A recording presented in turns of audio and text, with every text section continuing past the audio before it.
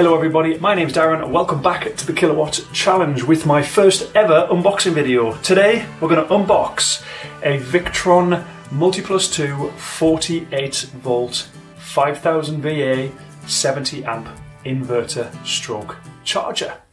Come on. And here it is! I can tell you, it's an absolute beast and it's so heavy. It must be, well, it's probably 20 kilograms, maybe even more, maybe 25 kilograms. There'll be weight, there'll be a weight on it somewhere. Oh, that's quite a lift. Now, I've got three of these because on my installation in this house, I'm three phase. These are possibly, probably, likely to be the best inverters on the market. That's my opinion.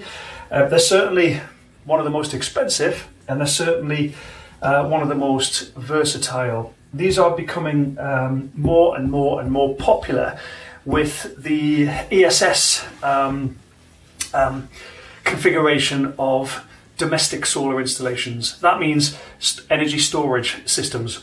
the, the Victron um, platform, the collection of all of um, the Victron equipment is particularly suited to that requirement. It's particularly well designed to store energy on site and then use it um, in the evening, at night, when the solar panels are no longer uh, producing energy. now, the good thing with these is you can use these to charge your batteries up overnight when the electric cost is at its lowest uh, and then use it um, from battery through the day. Um, so you don't actually need solar panels with these. These are inverters and chargers. These are nothing to do with solar at all. They are, however, part of, typically, part of a solar installation for telecommunications industry, for marine industry, for a domestic installation such as this, for a factory, for a power farm, for a power plant, for off-grid storage, for um, phase balancing, for anything you want. The beauty with these is they all, all the different boxes do one job very, very well. You'll see as my system grows, it's not just a one box solution. With Victron, you know exactly what you're getting. Everything's built to the highest possible standard and everything works particularly well. Anyway, that's enough waffling. Let's get it open. Okay, knife. Knife, knife, knife. Where's me knife? Where's me knife?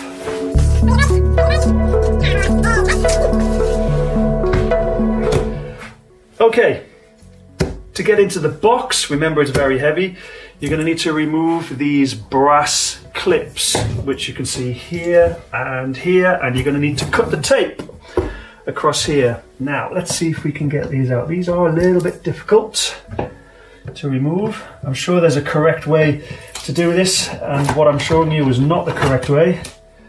There you are, there's one. These little clip things, I'm sure you've seen these before. It's not a very good angle, is it? There. They just um, make absolutely sure that the lid is kept permanently closed. And it's very strong, reassuringly strong in fact. And there's the other one. Okay. And then cut the tape. And let's see what we got. Very well packaged. Very well packaged. It's just all foam. Let's just put that like that. There we go. You're going to want me to lift this out, aren't you? okay, one piece of foam. There's the Multiplus 2. There's a bag here. Uh, okay, let's have a look at this bag, bag first before we carry on. Pull that, pull that back over. Right, what's in this bag?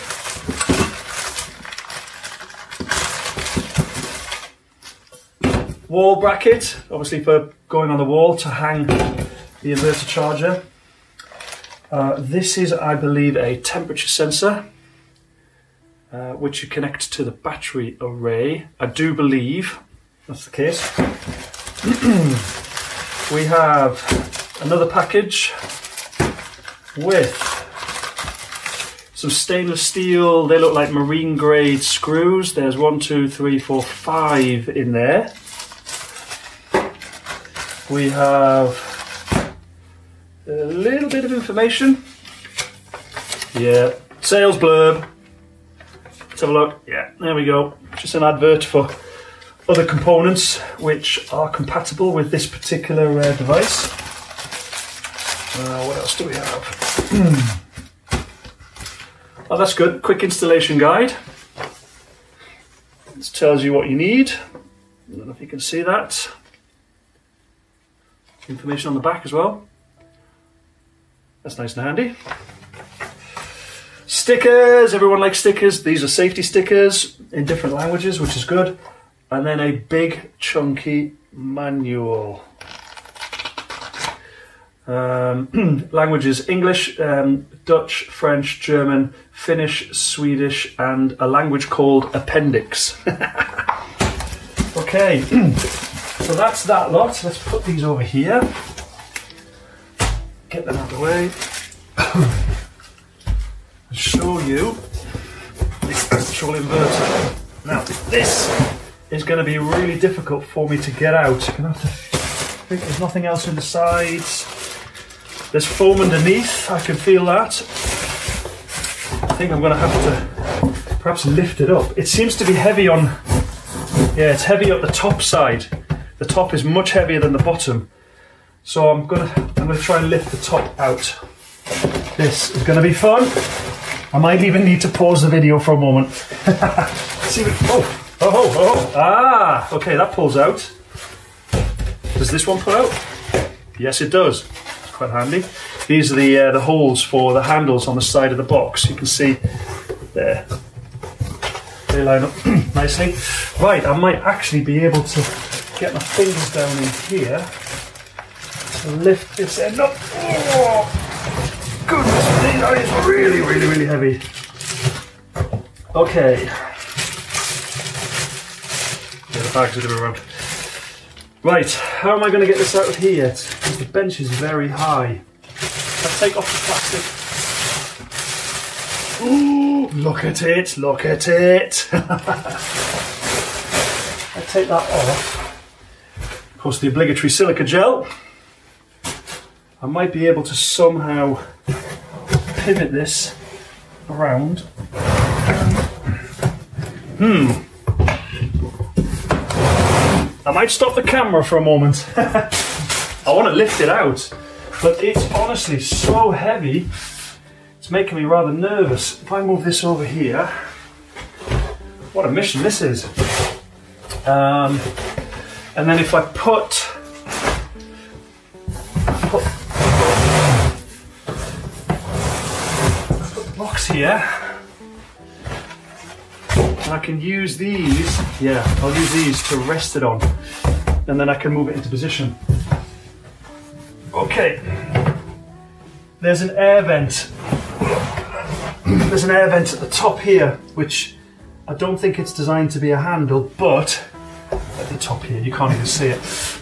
And I should be able to pick it up using that. Don't drop it, don't drop it, don't drop it, don't drop it. Oh, there we go. Right, get rid of the box. Look at this beauty. You just move it. There we go. There it is.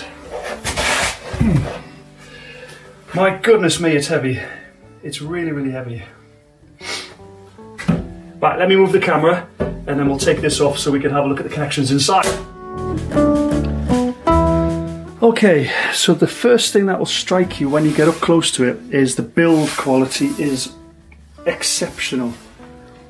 It's really, really good. All the panels line up correctly, all the stickers are straight. It's reassuringly heavy, as I've said repeatedly. Um, you have, for all of the cable um, entry points here, we've got uh, rubber glands, um, which is a nice, nice to see. It's great that uh, the afterthought of um, It's not obviously it's not IP rated. This is a vent here, but it just keeps everything clean, tidy, well organized. Uh, screws, even the screws are really good quality as well. Not going to be able to see that, but it just they're not cheap, you know.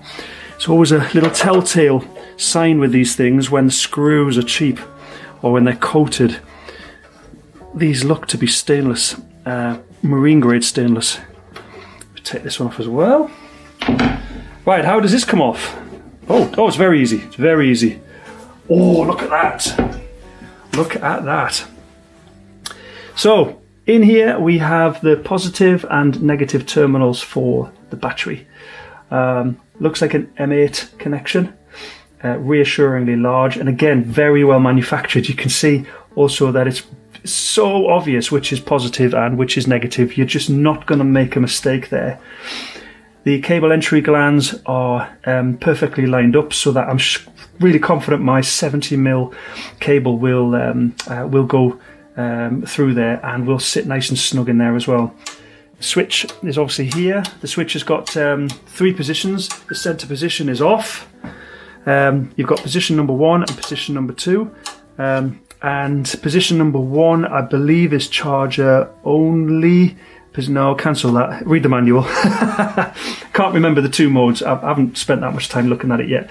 Um, in this section here, um, we've got um, a, a, number of interfaces which um, can be used to control external devices depending on the state of the either the inverter or another component. The inverter uses um, and communicates with the Venus OS, which is Victron's um, um, operating system, which is um, uh, used across all the devices. You typically need a GX device, either the Cerbo GX or you can have the Multiplus GX, um, which acts as the brains for the whole system. And the uh, the Venus OS, uh, OS can trigger or open and close these contacts. So, for example, if you want to use a generator, um, if you want to have different sensors, voltage sensors, temperature sensors, that sort of stuff, they all go into here. And these actually just, if I can, there we go. These actually just pull off. Um, and they're simple flat blade screw terminals. Um, they are keyed, so you can't put it in the wrong way around, which is nice. And also, the two connectors are uh, they have a different number of connections. So not only are they keyed for polarity, but they're also well, I guess you could plug that on there, but you certainly can't plug this one into this slot. That's for sure. Let's put them back. You can see on here the um, interface names as well. Reassuringly clicky when you plug them back in as well. uh, current sensor, these two what look like Ethernet sockets down here, if you can see those. Me get a little bit more light for you. Maybe that'll... Yeah, how's that? Is that too much? Sorry if that's too much. Um, these two Ethernet um, sockets here are for the uh, VE bus, which is the, the communications bus um, which all of the Victron devices use. Uh, and you basically daisy chain all the devices together in a um, in a network with a terminator at the end. Um, this one down here uh, is to control uh, to remote control the device. Um, and at the bottom, we've got an auxiliary relay. Again, eh, treat that as I/O. Treat that as the ability to be able to um, to trigger an external device. Now we're getting onto the main connections. Uh, AC in. This is the side which connects to the grid, and this is where the um, uh, the inverter can either feed into uh, or can uh, charge from on the AC inside. And here we have the AC out 1 and AC out 2. AC out 1 is connected to um, both the grid and to the battery under normal operating conditions. When the grid fails or is turned off or your shore power is removed, then AC1 remains connected. It's not the same with AC2. AC2 disconnects um, when the uh, mains supply on AC1 uh, is gone. So if the grid goes down or if your shore power is disconnected, the AC2 connection uh, um, uh, port will actually disable. This is really handy in domestic energy storage when you want to run things like a hot water heater or a car charger or something which you don't, it's not that important, so you don't want to run it all the time and you don't want it to run if you've gone into let's say an emergency status whereby the grid has gone down, you don't want to drain your batteries heating water that you're not going to use anyway. You would connect that onto AC2. Inside here, you can also see these uh, posts these screw down posts, these are for the cable clamps on the other side of the cable glands. All of the mains connections, one, two, three, and four, have got these very chunky cable um, clamps there as well. There's also a screw terminal here, which is for the chassis earth. Um, which again is um, reassuringly large, reassuringly large, and that's a separate earth um, compared to the three earths uh, which you see on the on the on the AC connections.